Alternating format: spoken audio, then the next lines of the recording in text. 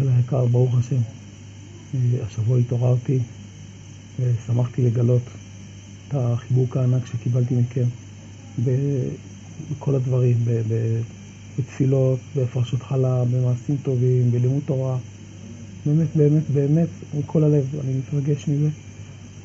ותודה רבה גם כמובן לצוות הרפואי של בית חולים סורוקה, שנתן את הלב, את הנשמה.